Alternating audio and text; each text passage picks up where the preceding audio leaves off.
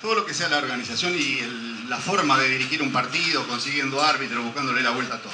Podría hablar un rato mucho más largo, pero no tiene sentido. Yo creo que va ese premio, ese mérito, ese reconocimiento de todos nosotros, a quien nos bancó durante tanto tiempo, que es Chalito Aguirre, que aquí está.